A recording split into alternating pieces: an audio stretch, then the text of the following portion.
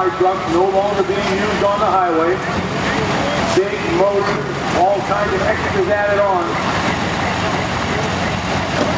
Loading screens not to be used here. This is uh, Jeff Loutman from Jefferson, Ohio, 1978 Peterbilt, powered by a C-15 Caterpillar. Mr. Loutman is a uh, second year puller with the PA Possum. An exhibition run last week in Ohio. The truck was on for